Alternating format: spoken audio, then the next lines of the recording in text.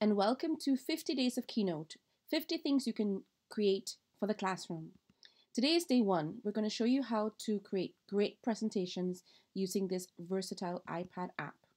First of all, what are great presentations? If you're teaching this in the classroom, it's of course important students understand what they should do and what they should not do. Here are eight points that I've summarized for you.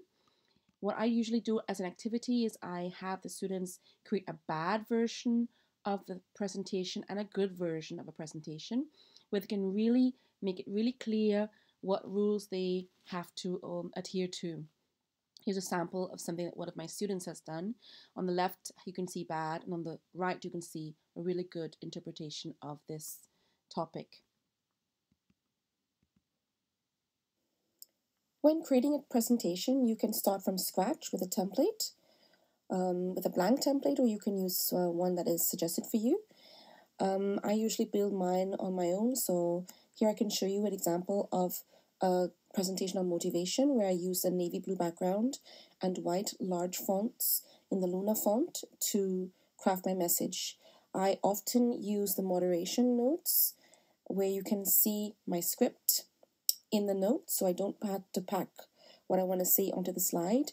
And I try to really use really cool icons just to bring my point across and not to overload my slides or anything.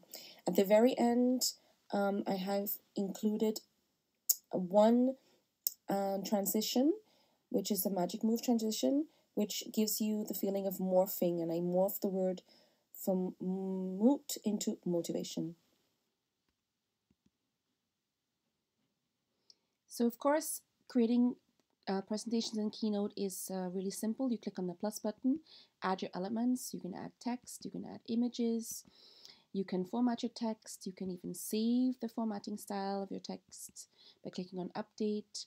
You can balance your elements on the page, add slides by either adding them through the um, dia through the dialog box or you can duplicate them, which is what I usually do because I build as I go. When I'm creating a template for students, I usually create media placeholders to guide them.